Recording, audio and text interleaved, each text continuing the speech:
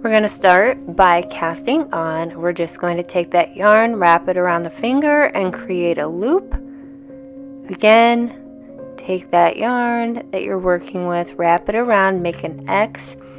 Take that piece of yarn and pull it through the middle and just hold and pull very gently. Make a loop and then we're going to attach it to our anchor peg. If if you don't have an anchor peg, just pick a peg and start with that and attach the yarn just as I'm doing here with the anchor peg. And then we're going to start our cast on. So take your working yarn and wrap it around each one of the pegs, just as I'm doing here. Go all the way around the loom.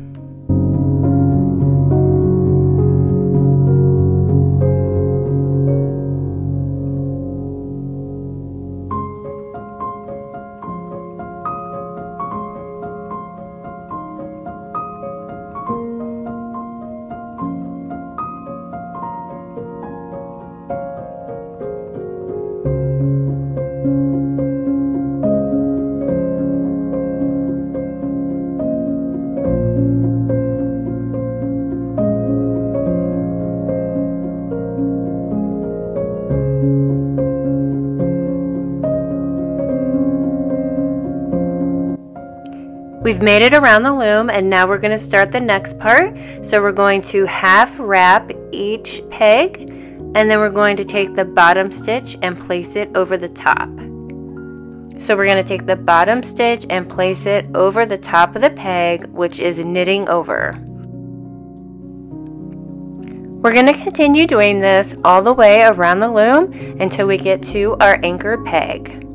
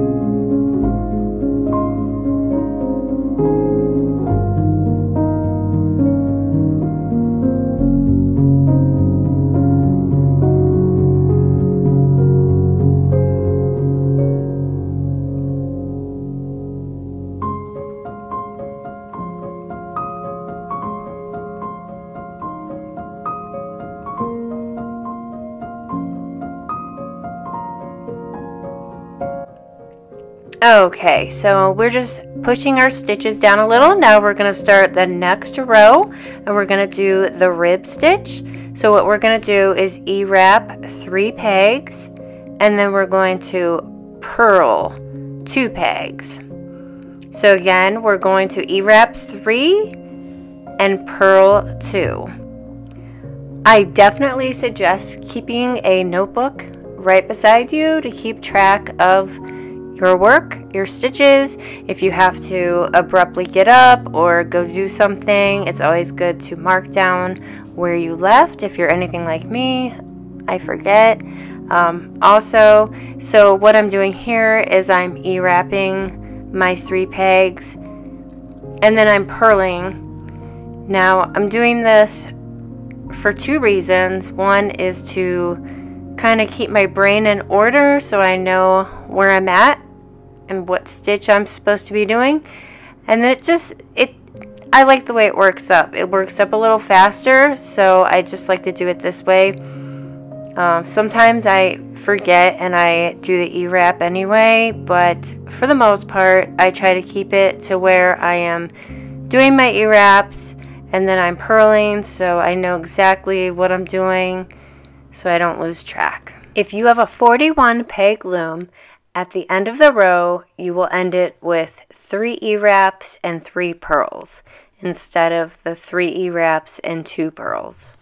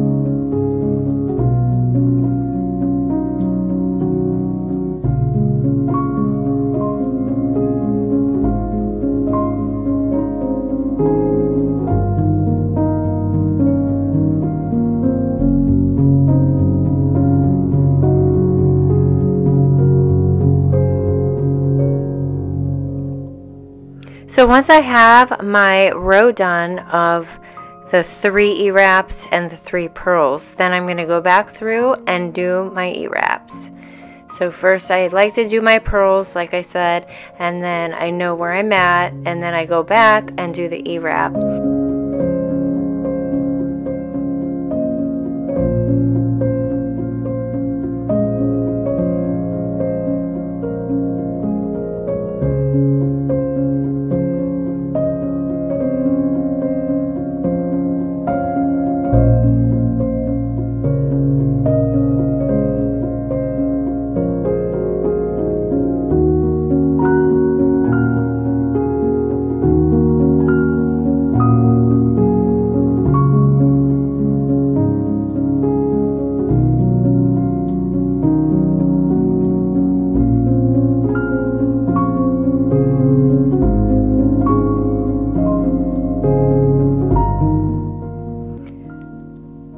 Continue this pattern of three knits and two purls. And again, don't forget at the end of the row, you'll want to do three E-wraps and three purls.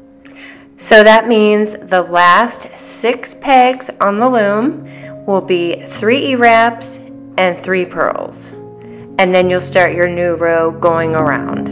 And that's where you'll see the anchor peg we're going to do this for 29 rows.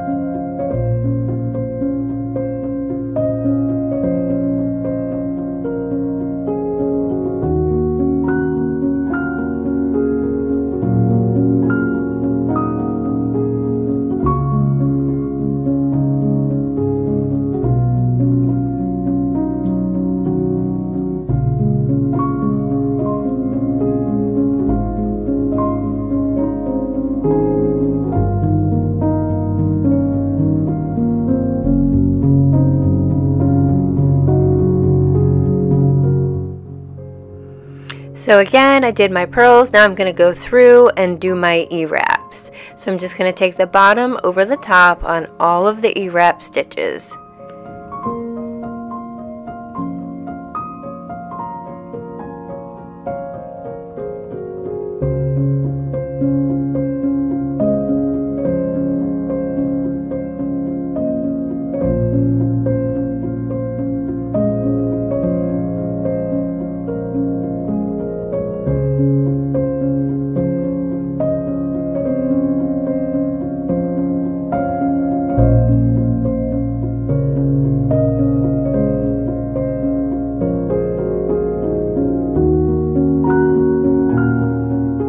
It's time to change to our red color, so I'm going to go ahead and cut the working yarn of the white off. And this is how it's looking. The part here is where we did our three purls at the end of the row, and you can barely even tell. So we're going to go ahead and cut about where it's at five inches or so, and just place the white yarn aside. Then we're going to take our red yarn and we're going to make a slip knot with that red yarn. So just like we did before, we're going to take the yarn, wrap it around our finger, make a loop and place it on peg 1. So not where we cut our white yarn, but right next to it. So again, there's the white and we're going to put it right next to it. So we're going to do a slip knot just like before and then we're going to attach it to the first peg. After we tie the two strings together, we're going to take our tool and just pop that red over the peg and then we're going to pull on it. And then the knot will come out and now we've changed colors. So now we can use the red and we're going to be all good to go.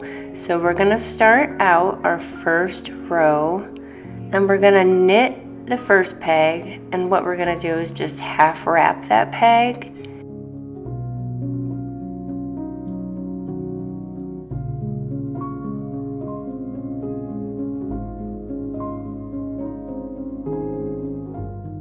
And then the second peg we're going to do a purl stitch.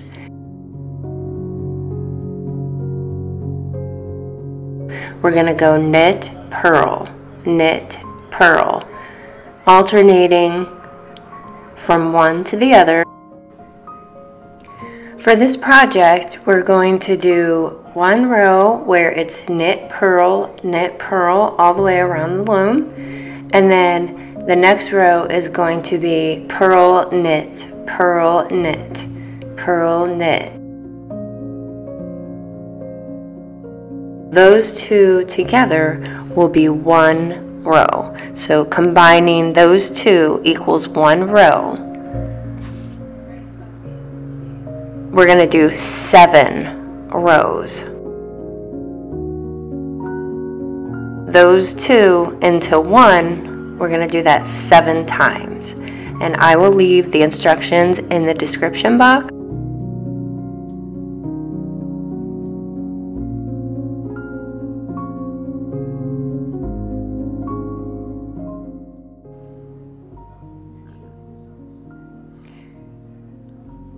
Now we're starting the next row. So we're going to start with a purl first.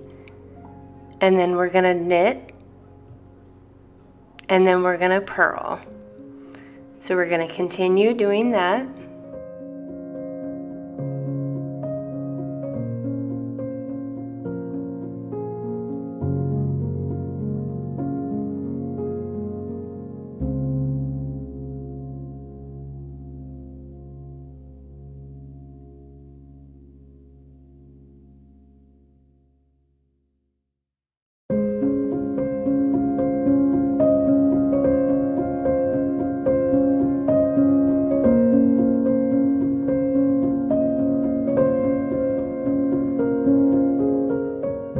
Now it's time to change back to the white. So we're going to do the same procedure that we did when we changed to the red.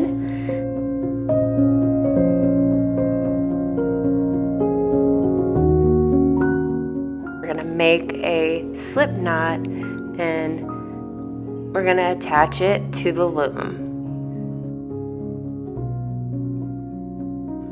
So go ahead and tighten the slip knot onto the peg.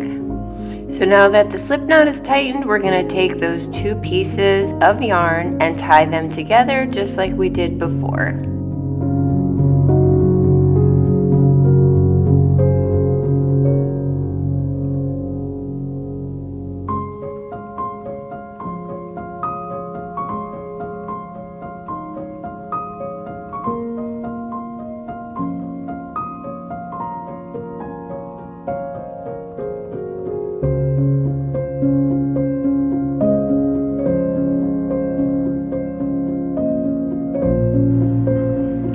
We're going to take that yarn piece off, the white, just like we did before when we changed to the red. Slip it off the peg and then go ahead and pull on our white and then our color is changed and now we're ready to go back to the white part of the hat. We're going to resume by doing the three E-wraps and the two purls with the three E-wraps and the three purls at the end just like we did before. So again we're going to go back to doing three E-wraps and two purls all the way around the loom. Again, I would definitely advise keeping pen a pen and a piece of paper nearby or mark notes into your phone on where you left off in case you get distracted. It's just really helpful. And if you're going to do the three E-wraps and leave them as is, as I was doing earlier, make sure that you stick with it and don't forget. Like you know, I sometimes do, like I said, and then um, just try to pay attention to what you're doing and make notes as needed.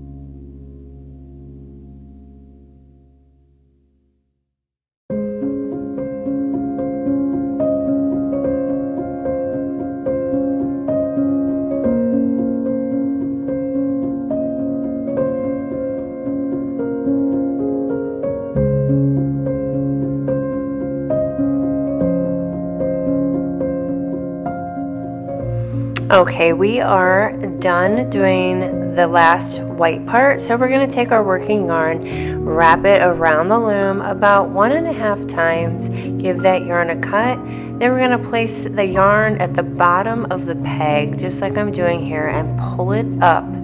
So it's sort of like a purl stitch, but it's not. So just pull that yarn all the way out and we're going to go around the loom. Now make it a little tight so you can feel free to release your stitches off the peg once you've pulled it through. So as you can see we're just pu putting that yarn at the bottom and pulling it up. So we're at the very end here so I'm going to do the last couple pegs here. Pull it up and I'm going to pop these off the peg.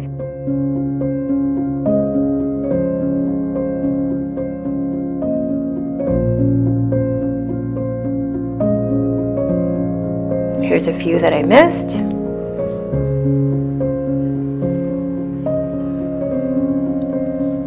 Okay, now we're going to take that long piece of yarn as soon as we, we're going to first put our hat inside out and then we're going to grab that piece of yarn